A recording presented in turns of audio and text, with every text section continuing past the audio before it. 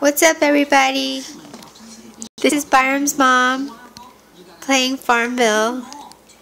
I give this game a A++. It has a lot of features, which uh, I'm impressed by.